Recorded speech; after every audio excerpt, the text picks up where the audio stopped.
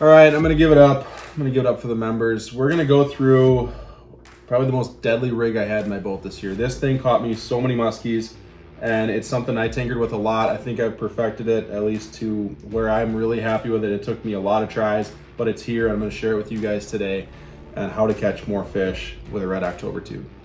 Hey guys, if you want to access this exclusive content, I'm gonna show you a quick way to get there. If you're an Apple user, you're gonna need to go to Safari, type in youtube.com. Once you're there, you're gonna look in the bottom left-hand corner by the URL. You're gonna see a large A and a small A. You're gonna wanna click on that and select desktop version.